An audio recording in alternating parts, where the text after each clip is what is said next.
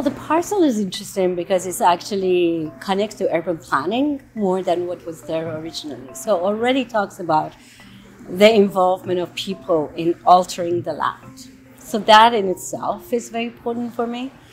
Uh, it's also the double meaning of parcel, something that is also a gift that you can offer to others, is a big thing for me as well. To in order to make those connections with the community, I, I do want a gift to be involved, and it's an exchange of some some sort. So that also has been important. You know, if you want to purchase something, you're actually purchasing that parcel. It's kind kind of a colonial. Um, attitude towards owning land, right?